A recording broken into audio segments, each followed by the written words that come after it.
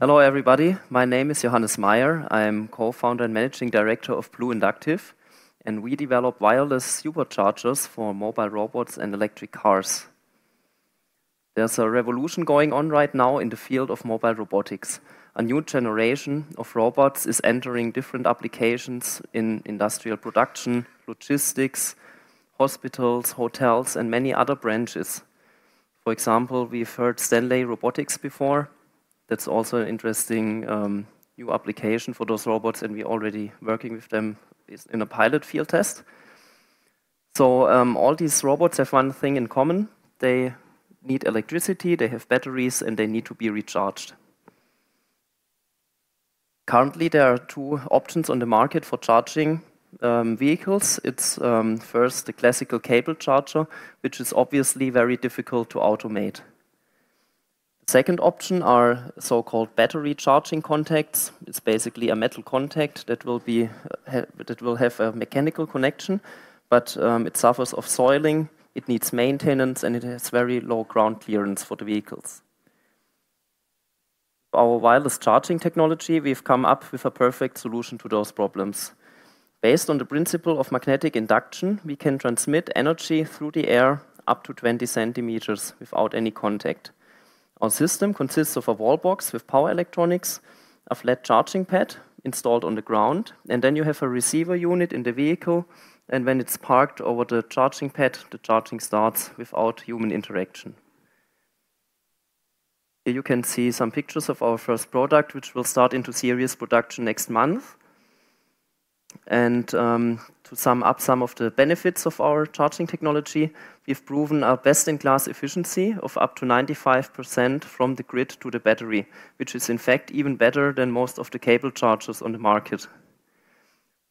We can charge very fast and have proven up to 22 kW. To give you a picture of how much power that is, you could charge about 10,000 cell phones at the same time with this kind of power. And the system is very compact and lightweight. You don't have a lot of space in the robots. It's very maintenance-free, and you can transmit the energy into both directions. So it's interesting if you want to make use of the vehicle batteries to store renewable energy, for example. We have one patent granted and two further patents pending. And um, to give you a view of the market, there are three segments. Um, the industry segment with all the robots, then you have, of course, the automotive sector and the consumer sector with cell phones and everything. We're concentrating on the first two segments, and for market entrance, we develop systems for industrial applications. But automotive is also very interesting for us, of course. And it's a multi-billion dollar market, um, especially the industry segment um, grows very strong right now, and uh, the automotive segment will follow. We are pretty sure about that. We have uh, a number of renowned paying customers. So it's we're not talking about cars, it's uh, about robots, because also in automotive production, um, the companies are looking for new production methods which apply a lot of robots, and you need to recharge them. And um, yeah, we have uh, numerous field tests applied and now start um, selling the series product. Here I show you a short video of uh, one of the pilot tests where you can see the system in action.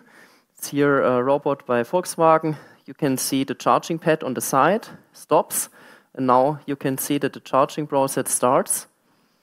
And um, you can also charge for just a couple of seconds. If you integrated the spots at the right position in the process, you can uh, have a 24/7 operation without additional charging stops.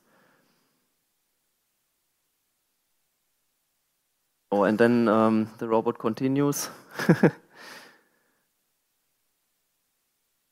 So to sum up, we have several paying customers. We have ongoing projects with Daimler and Volkswagen. We are about to start series production. So far, we have raised about 3 million euros with renowned investors like uh, High-Tech Gründerfonds and um, Phoenix Contact, for example. And we currently start um, talking to investors about our next financing round. Thank you very much.